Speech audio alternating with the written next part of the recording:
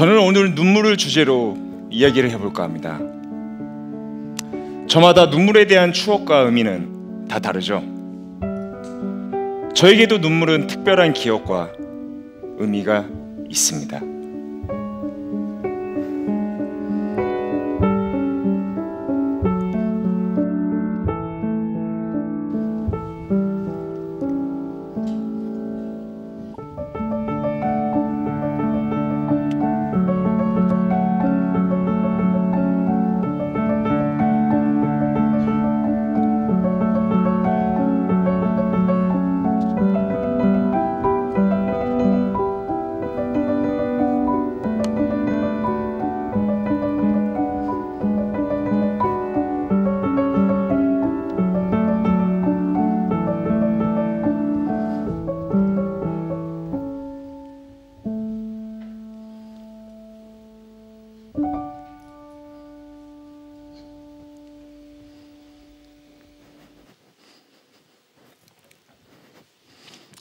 반응이 무겁네요.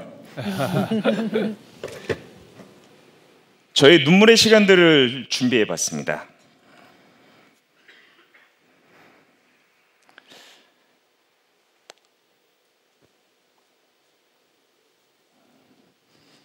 궁금하시죠? 네.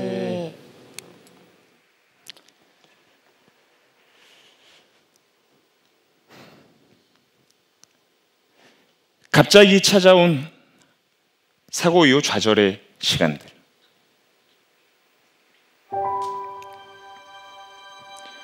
한손 마술사라는 캐릭터에 갇힌 채 멈춰버린 시간들.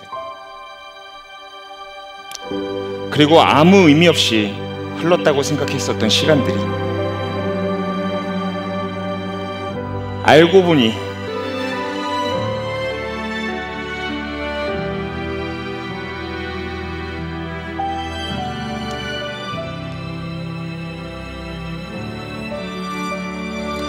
단단한 다이아가 되어 있었습니다.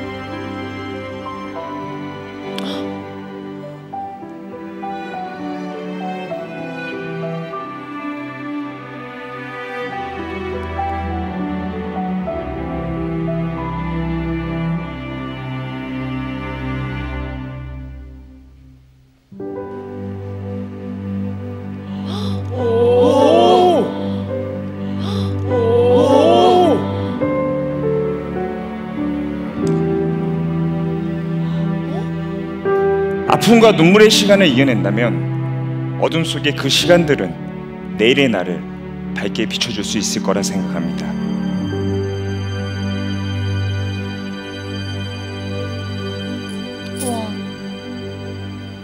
와.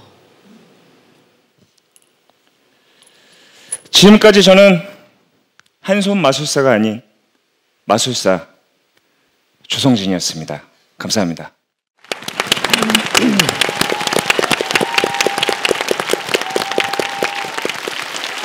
네, 1캐럿의 눈물이라는 작품이었습니다.